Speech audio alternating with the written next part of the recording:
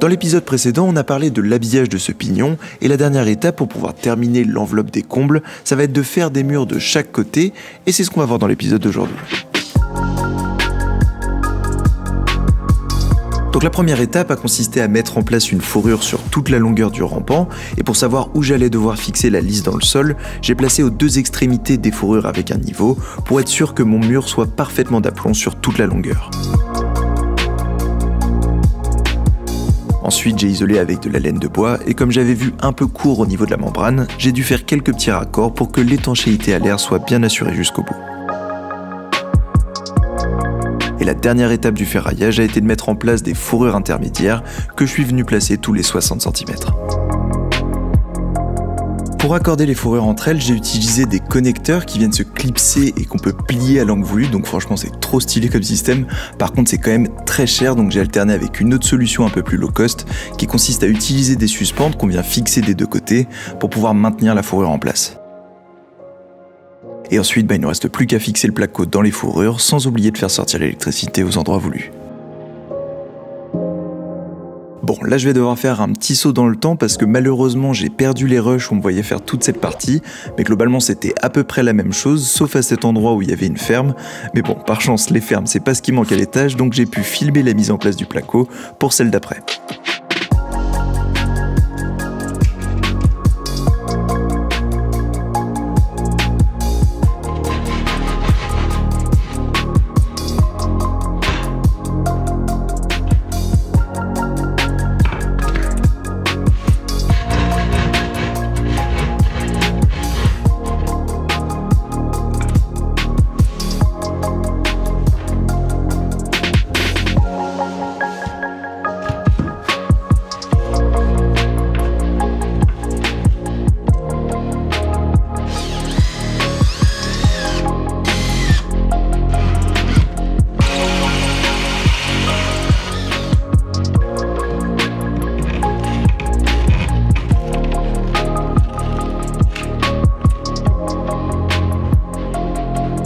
Alors maintenant, on va passer à la partie qui a été la plus compliquée à mettre en place, tout simplement parce que pour que ce soit le plus esthétique possible, on voulait que le placo s'aligne parfaitement avec le limon de l'escalier juste ici. Donc pour ça, il a fallu calculer précisément la position de cette fourrure pour que le mur soit bien d'aplomb sur toute la longueur de l'escalier. Ensuite, l'autre problématique, ça a été l'isolation, parce qu'on voit que sur la partie haute, il y avait un renfoncement, ce qui nous a permis d'isoler avec 15 cm de laine de bois. Par contre, pour toute cette partie, vu qu'il n'y avait que 3 cm entre le mur et la fin du limon, il a fallu qu'on trouve une autre solution.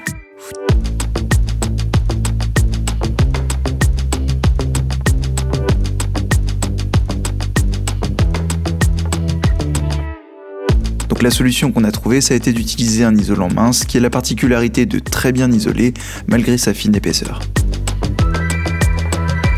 Ensuite, avec des morceaux de lisse, j'ai fixé les fourrures dans le limon avant de préparer les gaines électriques, ce qui nous permettra d'éclairer le bas de l'escalier.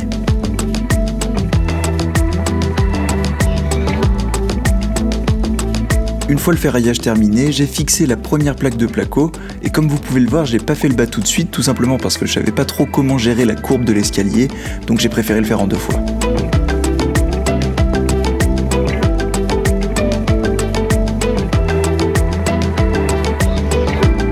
Alors là, la petite difficulté, ça a été d'avoir une continuité dans le ferraillage malgré la trémie qui tombait pile au milieu. Donc pour ça, je me suis basé sur cette fourrure pour mesurer 120 cm en haut et en bas pour que ma plaque puisse être positionnée parfaitement. Et une fois cette étape terminée, j'étais prêt à mettre en place la deuxième plaque, mais vous allez voir que ça a failli mal tourner.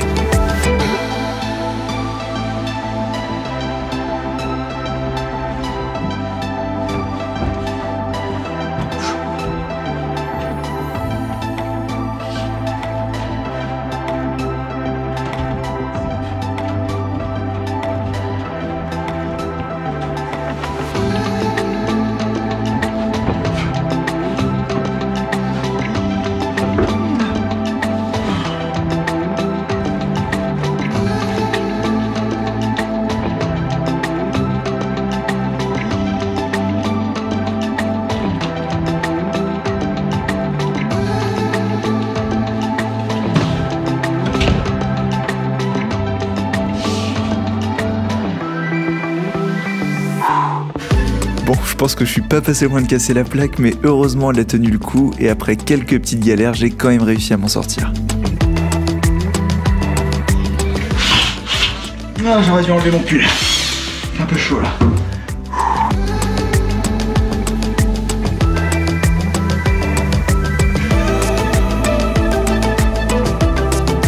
Une fois cette plaque fixée, il a fallu que je m'occupe de ce petit triangle et pour ça je suis venu mesurer tous les 10 cm la distance entre le placo et le limon avant de reporter ces mesures sur une plaque de placo pour pouvoir retrouver la courbe de l'escalier.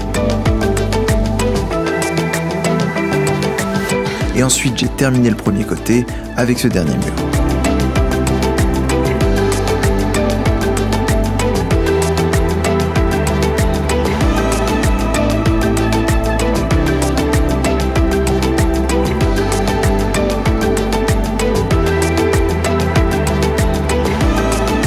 Au final, j'ai pas fait ce côté tout de suite parce qu'il restait encore quelques trucs à faire en élec et en plomberie et je voulais que ça reste accessible, d'autant plus que je savais pas exactement où allaient tomber les cloisons.